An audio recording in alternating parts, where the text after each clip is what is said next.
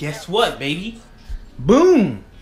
So this is the Marauder sticker, guys. So if you want a Marauder sticker, here it is. And this is my new sticker with my logo on. It's a Japan sticker. I'll show you what it looks like. It just got the, it's like the white Japanese flag with the my logo in the middle, the Z. And then, yeah, so that's how big the Marauder sticker is, in case you're wondering if you should get one. They come in all different sizes. This is a 32 inch. This goes on your windshield, okay?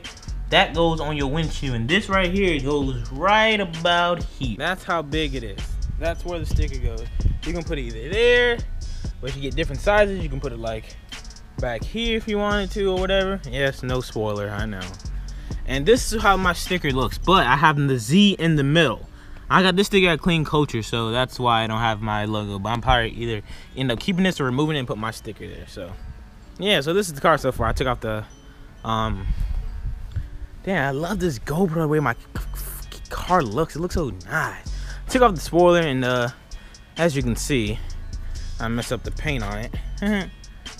damn boot ass paint. Can't wait to actually paint my car the way I want to paint it. This shit is just boot. Huh? But she clean though.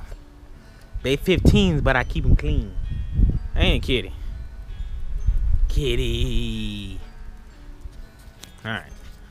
So yeah, guys, if you want a Marauder sticker and Zosh Japanese sticker, uh, link will be in the description below. So check it out and support your cutty. You feel me? Y'all buy some stickers. I you know, do a little giveaway. You know what I'm saying? You support me, I support you. And the kid, what you doing?